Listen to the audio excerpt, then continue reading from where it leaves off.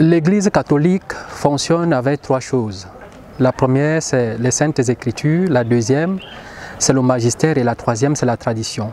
Et lorsque nous rentrons dans les saintes écritures, nous savons clairement que les récits de la création dans la Genèse nous disent ce que Dieu a pensé lorsqu'il a fait le ciel et la terre, lorsqu'il a fait le monde.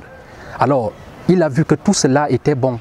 Cela signifie qu'il n'y a pas fondamentalement une journée, une date précise que Dieu a faite pour qu'elle soit, n'est-ce pas, euh, euh, euh, une date de malheur qui produise des malheurs pour les humains. Ceux qui créditent la thèse que le vendredi 13 soit une journée où le malheur doit arriver forcément s'inscrivent dans le cadre de la superstition.